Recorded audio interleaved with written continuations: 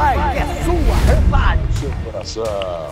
Neste sábado, 25 de março, Brasil e Marrocos se enfrentam em um amistoso que marca o início do novo ciclo da seleção e também da minha jornada no canal GB. Eu te espero lá, a partir das 18, 6 da tarde, ao vivo, no canal GB.